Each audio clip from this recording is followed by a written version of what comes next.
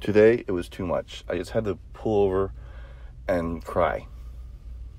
Yeah, I cried.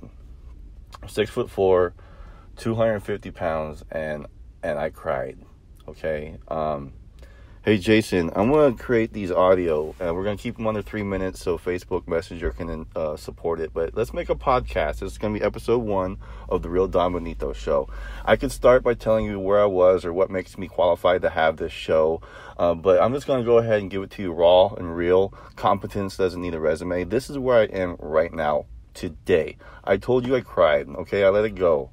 And I cried because I'm a tall guy, big guy, big persona, big, big everything. People take shots. I want my friends to get behind me so I can take the shots for them. So I take on a lot of stress and I get hit a lot and I get cut a lot. And that's my life.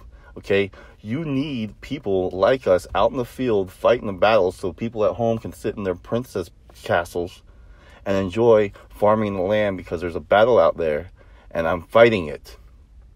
What am I fighting? Well, good versus bad. It comes down to it.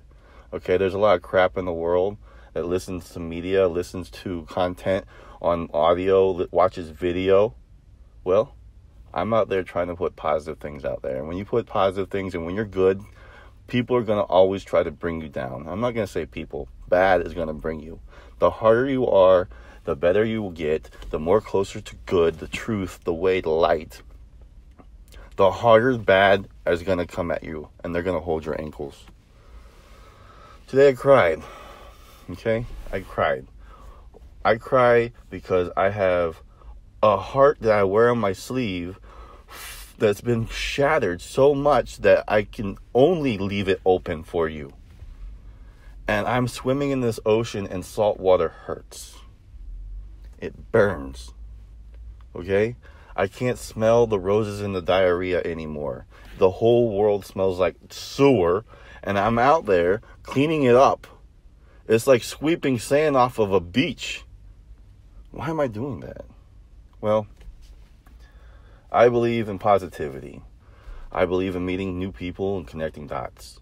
I believe there's good in everybody. And I come from a long line of warriors like me. My father's mission is to plant seeds of positivity and give hope to the hopeless. And I grew up following his mission in prison ministry and what he did above and beyond his work to get the mission done. I'm Don Benito, CEO of Smart Green Industries, and thank you for listening to podcast episode one, The Real Don Benito Show. Oh, yeah, pass the basket around. This lip ain't free. I got bills.